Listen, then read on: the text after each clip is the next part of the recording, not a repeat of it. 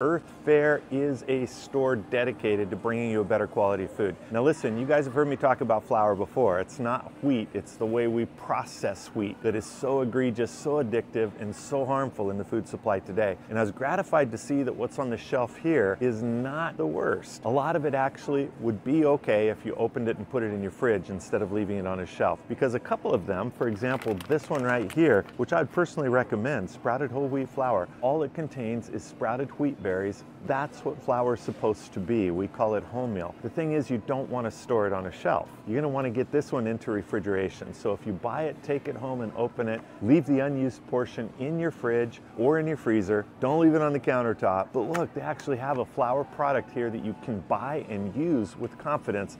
That's amazing. Caveat, don't think they all are. Read labels, know what you're looking at.